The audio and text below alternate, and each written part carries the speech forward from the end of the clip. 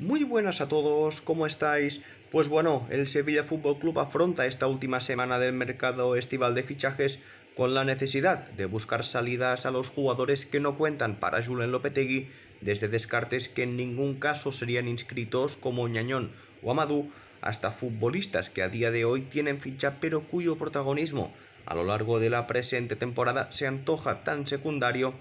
que vendría bien que liberasen más salarial y buscasen minutos en otro club. Este último grupo lo integran jugadores como De Jong, Munir, Gudel y nuestro protagonista de hoy, Pozo, a quien esperan en el Granada Club de Fútbol si antes logra resolver una condición indispensable para poder salir y del presente y futuro de Pozo en el Sevilla Fútbol Club vamos a hablar durante los próximos minutos en el canal, pero eso sí, antes te voy a pedir que dejes un buen like y que te suscribas, si no lo has hecho aún, a Balón de Oro Canal de Fútbol, porque aquí hay vídeos de fútbol diarios para ti. Pues bueno, el Granada, por lo visto, ha alcanzado un principio de acuerdo con el Valencia Club de Fútbol para el traspaso del lateral derecho Dimitri Fulquier, futbolista que conoce perfectamente la Liga Española, cedido en Getafe y Granada últimamente y quien ya trabajó, de hecho, a las órdenes del mismo José Bordalás en el Getafe y ha elegido al canterano sevillista para suplirle. Esto refiriéndome evidentemente al conjunto nazarí. Pozo ya cursó uh,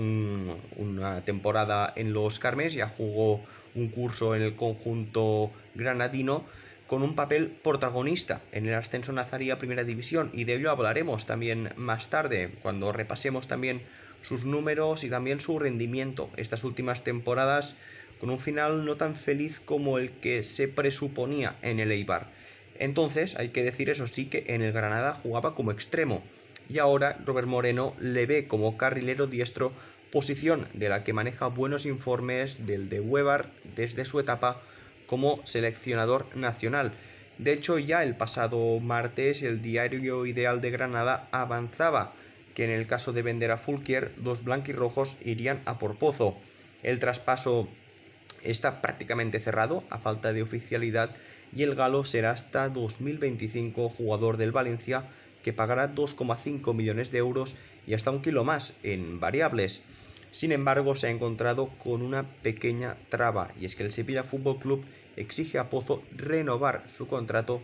para dejarle salir cedido algo que parece que no ve con buenos ojos porque en ningún momento ha contado con la confianza de los últimos entrenadores del conjunto sevillista y en el caso de Julen Lopetegui pues está más que claro que no cuenta con él y más tras la llegada de Gonzalo Montiel. Y es que Pozo tras la salida de Alex Vidal pues podía pensar que podría ser el suplente de Jesús Navas y aprender del palaciego además es un chaval de la casa se le podría haber dado una oportunidad, pero por A o por B, y de eso también hablaremos durante los próximos minutos, pues no se la ha dado el Sevilla Fútbol Club. El Internacional Sub-21 hay que decir que tiene vinculación con el club nervionense hasta el 30 de junio de 2023, dos años le quedan por tanto de contrato y aunque en teoría no habrá problema para encontrar una solución que satisfaga a todas las partes, tiene sus dudas ya que es verdad que lo ha intentado todo, mm, reconversión de extremo lateral incluida, para hacerse con un sitio en el Sevilla Fútbol Club sin llegar a convencer a Julen Lopetegui. Y de hecho, ojo, esta sería la cuarta cesión seguida del sevillano. Por tanto, entiendo también en parte su desencanto y quizá ya su deseo por desvincularse del todo del Sevilla. Un jugador que el curso pasado mm, jugó en la Sociedad Deportiva Eibar equipo descendido a la segunda división, por eso comentaba también que el tramo final de su carrera no hasta el día de hoy pues no ha sido lo más bonito del mundo, pero sí que por ejemplo estuvo en la 19-20 en el Mallorca, equipo en el que con el que también descendió, pero sí que dejó buenas sensaciones y solo estuvo en esa segunda vuelta, en la primera jugó en el Sevilla y jugó muy bien, sobre todo en Europa League, y en la 18-19 militó en el Granada, donde ahora podría volver, temporada del ascenso, así que lleva tres temporadas que ascenso o descenso, últimamente más de arena que de cal. La principal incógnita está en saber hasta cuánto está dispuesto a esperar el Granada, ya que si bien Pozo parece que es su primera opción, no es la única que maneja y el tiempo apremia a falta de menos de una semana para el cierre de mercado estival. Y en este sentido, Onda Cero asegura que el club nazarí ha recibido el ofrecimiento del colombiano Santiago Arias del Atlético de Madrid, jugador que de hecho recientemente ha sonado para reforzar al otro equipo de Sevilla, al Real Betis, quien no acaba de convencer en el equipo nazarí ya que cuenta con el hándicap de la grave lesión sufrida la pasada temporada y por tanto las dudas sobre su estado. Aún así, es un gran lateral derecho desde mi punto de vista. Santiago Arias, creo que el Granada le vendría como un ello al dedo, por eso, aunque no sea la primera opción, si finalmente el Sevilla no se da prisa con la renovación de Pozo, el Granada podría terminar con, con Arias y Pozo,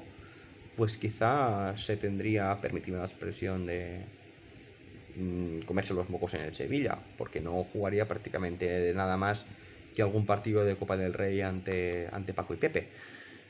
Bueno, estas últimas temporadas, temporada 2021, jugó en el Eibar, fue mayoritariamente titular, 27 partidos, no marcó ningún gol, pero dejó muchas dudas, sobre todo en el plano defensivo. Es un jugador que ataca bien, no atacó tan bien en el Eibar, no se adaptó tan bien como, por ejemplo, su compañero en el Sevilla, Brian Hill. La, compañero la temporada pasada, se entiende, propiedad del Sevilla. Uh, y defensivamente fue un desastre.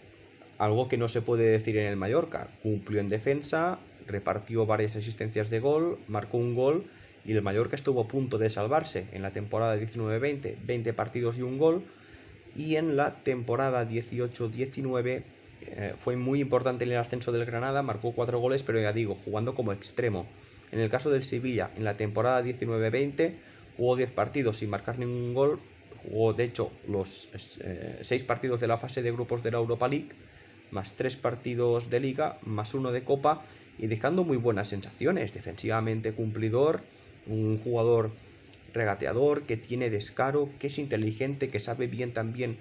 cuándo y cómo subir, técnicamente bien dotado. Yo le veo un chaval con proyección, tiene todavía 22 años, pero parece que Lopetegui le ha puesto la cruz y cuando Lopetegui le pone la cruz a alguien, poquita cosa hay que hacer. Así que bueno, ánimo para Pozo, veremos si termina en el Granada o no y también su rendimiento, que es verdad que en el Eibar no fue el mejor, pero anteriormente cuando se le dio confianza tanto en Mallorca como en Granada en segunda división o como el mismo Lopetegui en el Sevilla la temporada 19-20, en la primera mitad de la temporada se ha visto un buen Pozo. Creo que, que tiene proyección, sigo creyendo que tiene futuro. Veremos si será en el Sevilla o no y veremos si termina firmando o no por el Granada Club de Fútbol de Robert Navarro. Ah, lo seguiremos evidentemente en el canal y ya para terminar te pido que dejes un buen like y que te suscribas si no lo has hecho aún a Balón de Oro Canal de Fútbol porque aquí hay vídeos de fútbol diarios para ti. Como siempre, muchísimas gracias por seguirnos.